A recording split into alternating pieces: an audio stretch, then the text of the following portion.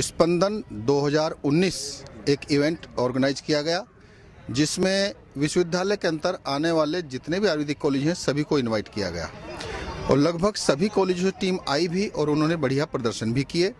इसमें हमने कबड्डी, क्रिकेट खो खो रस्साकसी, इस तरह के टीम गेम और badminton race 100 meter 200 meter 400 meter, relay race, नींबू race, carrom, chess, mehndi competition, rangoli competition, painting और स्केचिंग, और एक जनरल नॉलेज जिसमें आयुर्वेद को भी सम्मिलित किया गया, इस तरह का एक किज प्रोग्राम भी रखा।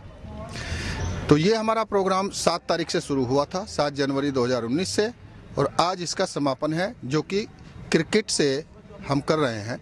लास्ट में हमारे क्रिकेट खेले जा रहे हैं। इसमें हमारी चार टीमें आई हैं।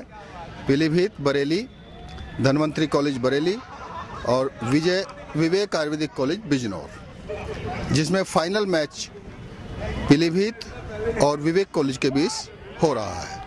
खबर बरेली की। बरेली से बीटीवी बरेली की आवाज़।